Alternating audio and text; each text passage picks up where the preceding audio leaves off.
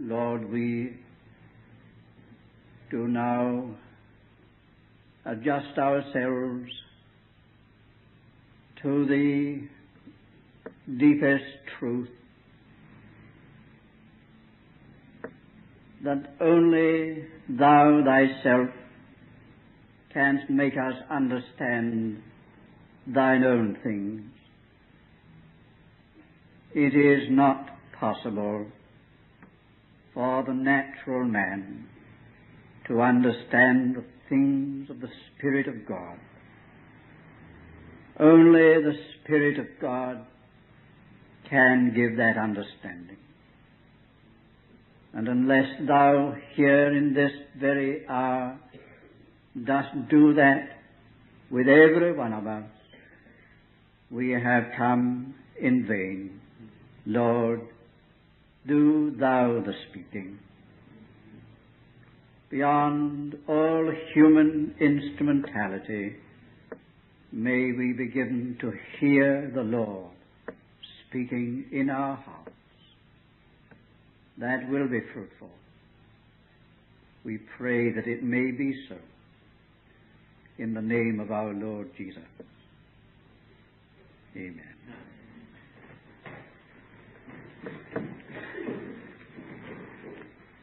Will you turn again to that letter from which we have already read, the letter to the Hebrews? In chapter 2,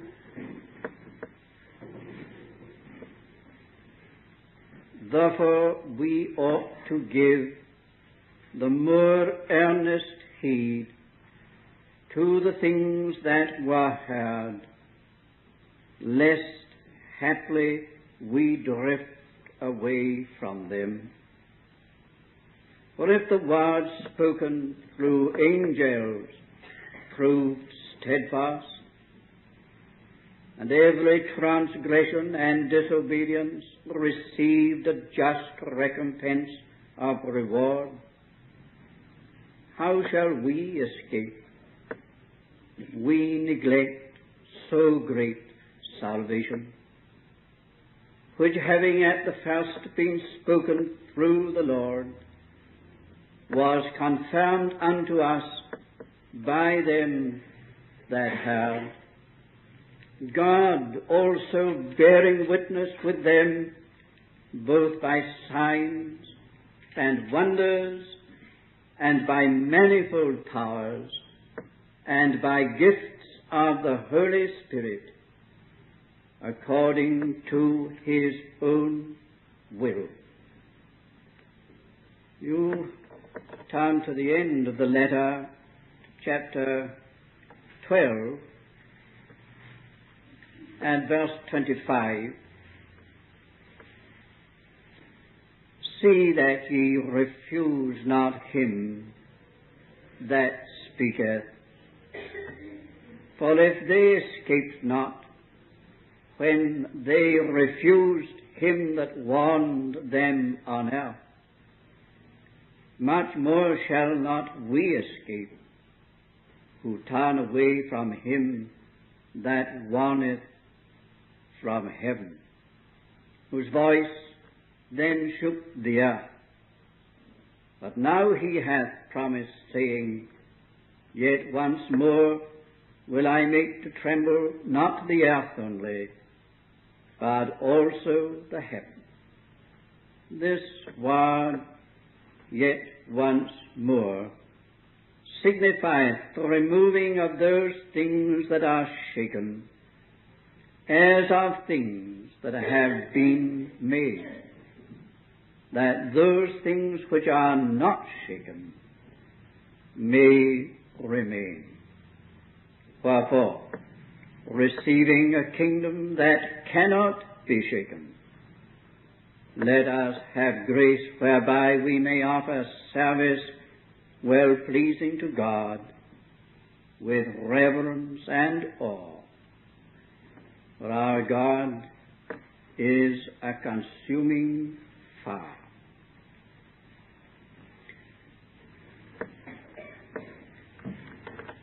Those words, of course, sound very terrible. They're almost like holding a threat over people. And you might feel that they are not too encouraging a beginning for a time like this. I have read them with one object.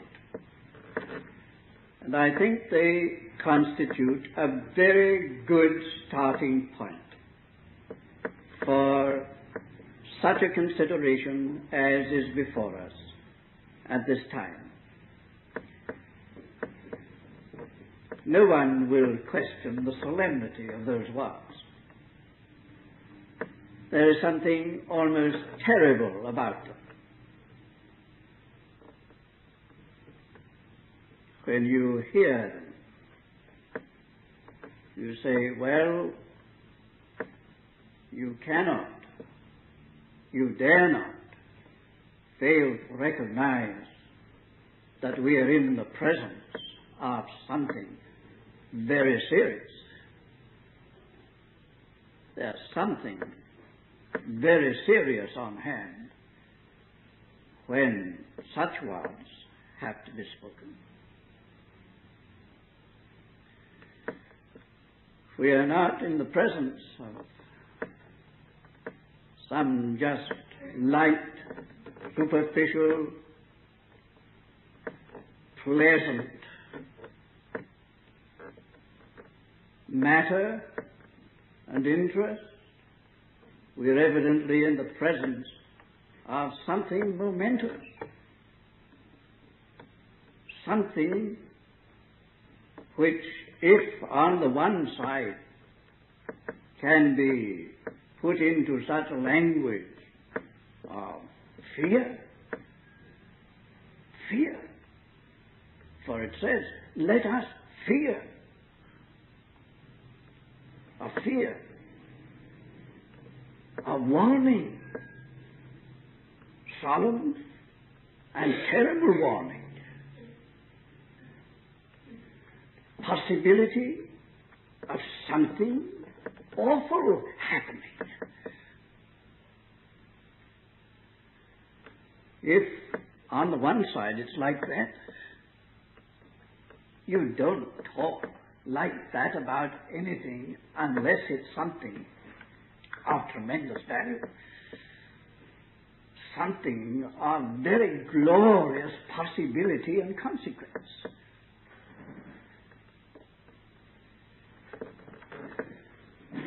To miss that something is said to be the most terrible thing that could happen. Therefore, it must be something tremendously important. Now, I'm not exaggerating, I'm not making that up. There you are. I started at the beginning of the letter. Let us fear lest. I've gone right over to near the end of the letter, and the same words or similar words occur again as summing up and in between the beginning and the end, you just have any number of these earnest entreaties, these solemn warnings, examples taken out of the life of others who did not give heed and go through.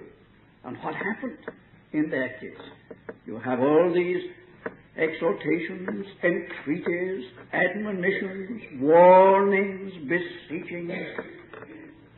And we shall come on to those in particular probably before we are at the end of these gatherings. What is it all about? Now, therefore, friends, I suggest to you that this letter must be a very vital letter. If that's the nature of it, the realm of it, if that is the portent, something tremendous in view for Christians which can be missed. That's what it's all about.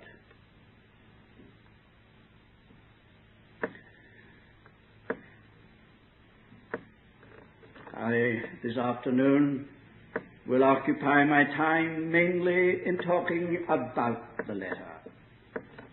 Later, we will get into the letter itself, probably, and talk about it.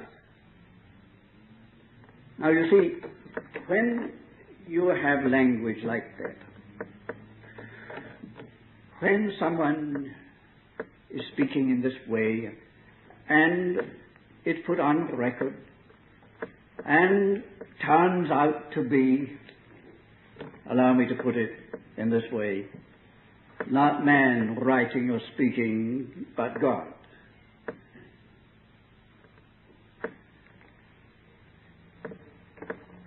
You surely must be in the presence of a crisis.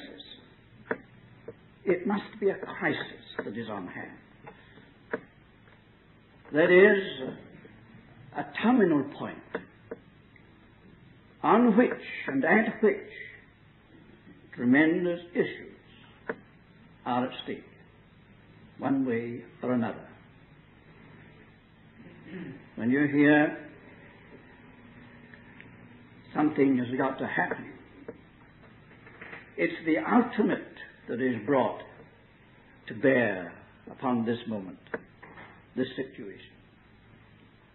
Now we know, of course, that this letter itself took its rise from a crisis. But it's impressive to realize that not only was it related to a historic crisis, but the Holy Spirit took hold of that and introduced the ultimate crisis built upon that the ultimate issue. Perhaps you need that explaining. The historic crisis was this. This letter was written probably about approximately two years before that full scattering for the whole of this age of the Jewish people the destruction of Jerusalem, which the Lord Jesus had foretold. Things, notice in our reading, which were in the first place spoken by the Lord Himself. Give them more earnest heed. And some of the things which were spoken by Him related to this crisis. He said, The day is coming when they will cast up around you their siege they will leave not one stone upon another. That whole terrible 25th chapter of Matthew's Gospel, spoken by the Lord, was bearing upon the thing that was now within a year or two of actual fulfillment. When the Roman legions besieged Jerusalem, brought it to starvation, destroyed its temple, so that literally, according to a Jewish historian, they did not leave one stone upon another. It is on record that as they went about their work, they literally leveled the whole thing to the ground, to the ground. And temple finished, all the temple worship finished, priesthood finished, the sacrifices finished, the people scattered to the ends of the earth. Never to be recovered again in the dispensation. It's been like that according to the Lord's word. Your house is left unto you desolate.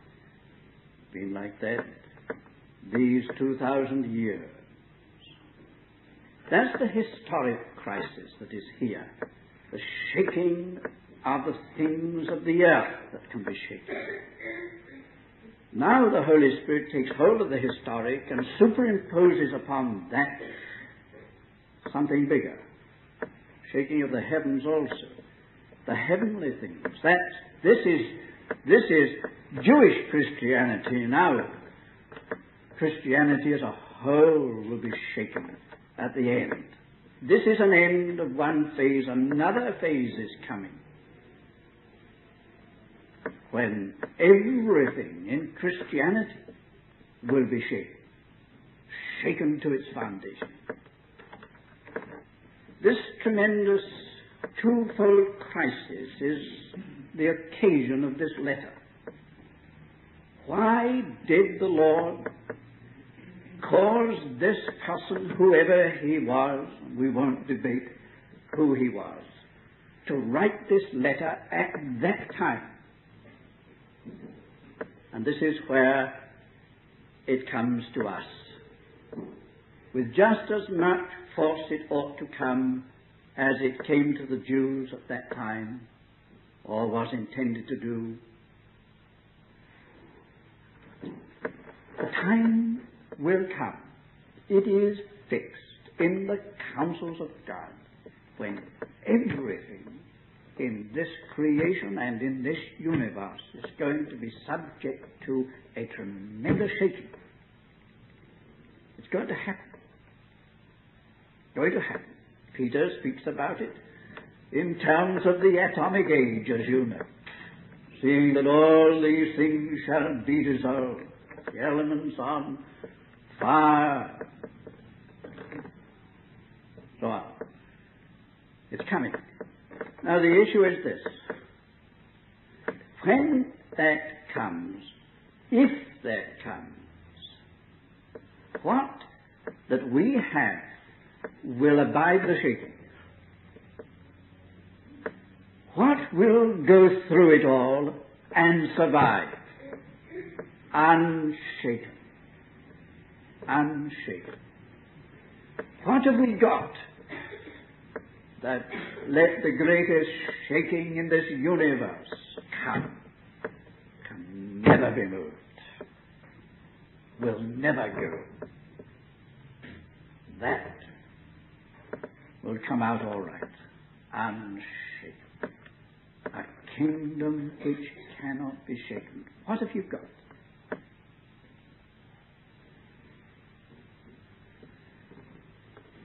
Like that. Now, this letter was written to these Hebrew Christians. Try, it was a great effort of the Lord to get their feet established upon ground that could never be shaken. You see, they were wavering. They were wavering. They were already being shaken. They were being moved from their steadfastness. Some of them were thinking of going back to the old associations and the old Jewish system. Like this. The Lord inspired this letter with the one object of getting them established, so established, when this terrific storm broke, these winds were let loose. They carried away, carried away so many and so much, there would be that which would stand the storm and abide. And as I have said, he used the historic as the occasion for bringing in the eternal. He leads on to this for all Christians. Now, dear friends, it, there are two things about that that are important for our notice. One is this, that you cannot, you cannot settle that matter when the storm breaks. If you have ever been in a storm, a real good storm, you know very well that that's not the time to get things settled. if you haven't got them settled before then, you are just going to be all at sea indeed. The forces would be too much to cope with. Far too much to cope with. You'll just be thrown all over the place. An emergency is not the time to quietly get down to our foundations. We're caught up in things too much. Like this. It's not all settled beforehand. If you don't know where you are beforehand, when this thing breaks, you'll not be able to see to it then. That's important to recognize. Therefore, therefore, this letter would say, in the light of testings which will come, in view of that which is bound to break upon us at some time.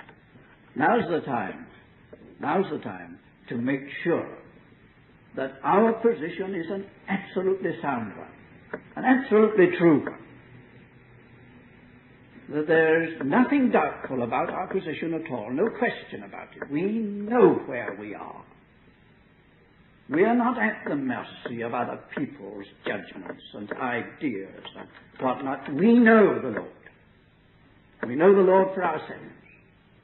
We know where we are. Let everything go to pieces. We know where we are with the Lord. Now that is a thing that has got to be settled and it cannot be settled when everything is going to pieces.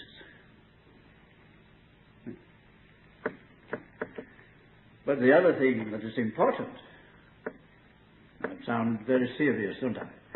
But it's very important that we should recognize that it may not be necessary for the great ultimate upheaval and chaos and cataclysm to take place in order to bring that issue out. Is not this the heart of every trial that comes into the Christian life? Any day, any day. A temptation or an adversity, some suffering, something that just is calculated to throw you all over the place.